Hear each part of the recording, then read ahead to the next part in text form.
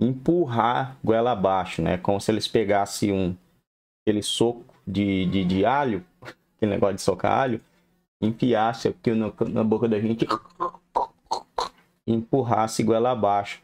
Quando a coisa é tão boa, quando eles como eles falam que é boa, né? Eles não teriam medo se fosse tão boa assim de ter uma análise profunda, de ver devagar como é que é, como é que não é.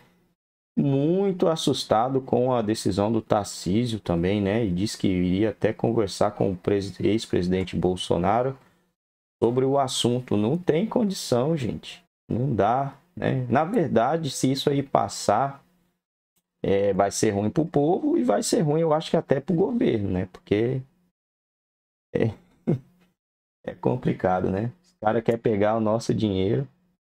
E será que o tanto de imposto que a gente já paga não dá para eles continuar com as regalias que tem ou a intenção é fazer alguma coisa lá fora com o nosso dinheiro? Porque mais não tá legal o salário. Ontem mesmo era não sei quantos milhões o plano de saúde para o pessoal lá do STF e já ganham em média 17, só 17 pila por mês e nós vamos ter que pagar o plano de saúde deles também. O que, que eles fazem? Você consegue me falar o que, que esse pessoal lá faz em benefício do povo?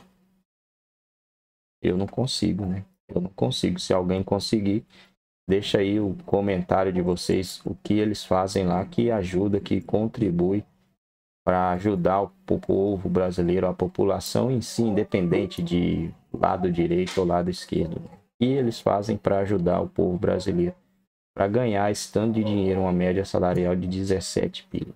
Complicado, né, gente?